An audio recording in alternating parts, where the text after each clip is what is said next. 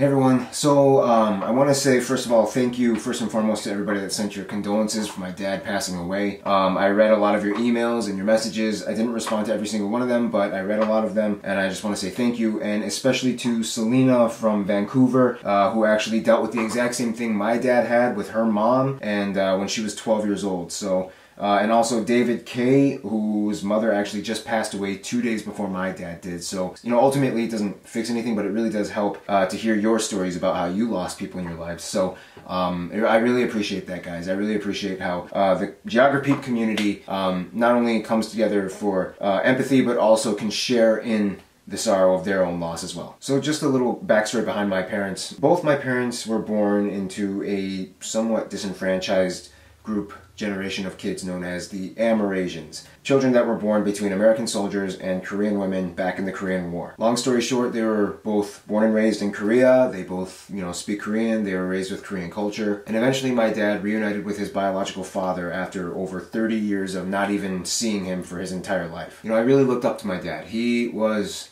always the risk taker of the family. He was always the one who pushed and decided to go for stuff even when it was crazy and impossible. So I'm just going to jump into it. I'm going to start fundraising to pay for his funeral costs and his cremation and uh, me and my mom are also planning on taking some of his ashes to a small town in Italy. I already mentioned this in a previous video. Uh, it's called San Polo. It's where all of the people from my dad's side of the family, the Italians, come from. And after that, I'm also planning to take my mom to the other two countries of her heritage that she's never seen, France and Ireland. So essentially, this whole thing is going to be like a big heritage trip. So the first way I'm going to raise money to fund all of this is to do more sponsored videos. I already have two lined up for the month of May, so if you see me doing more sponsored videos, you probably know where the money is going to go towards, a lot of it towards. The second way is if you guys, the viewers, would like to expedite the funding process of this whole deal, uh, you can make a donation on Patreon. It can be like a one-time donation of any amount, I don't care, one dollar, it's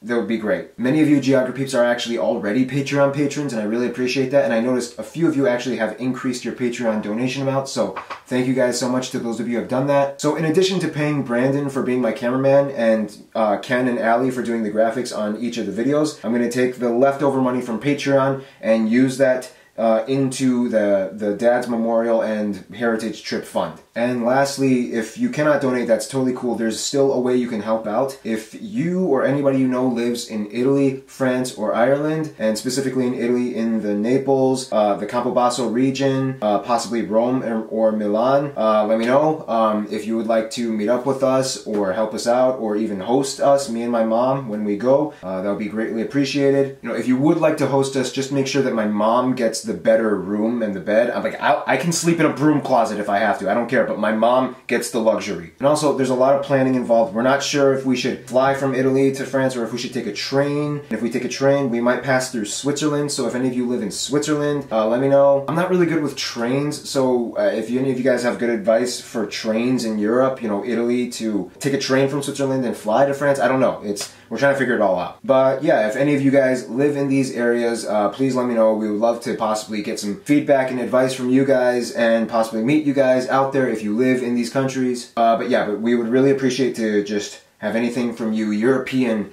Italian, French, and Irish geograpeeps, and possibly Swiss. So I just want to say thank you to everybody uh, for all your continual support here on Geography Now. Um, I will get back to making the country episodes. You know, it's going to be a little weird because I have to be a little humorous in the episodes, and you know, I think I can pull it off, though I think I can do it. So you know, it's going to be a little interesting, but yeah, um, I, I want to keep continuing making this channel and making the country episodes. Um, so with all that said, uh, I just kind of want to finish off this video by sharing with you guys uh, um, one of my favorite memories of my dad. It's the time that we just sang this Korean song that he taught me. It's called Jindo Arirang, and uh, we just played the traditional Korean drums. So yeah, enjoy.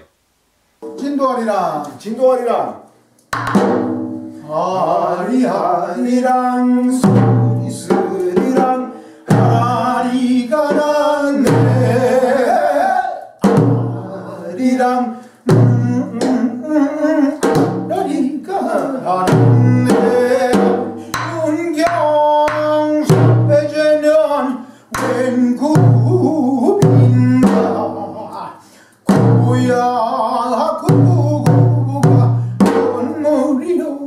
있구나 미아리랑 네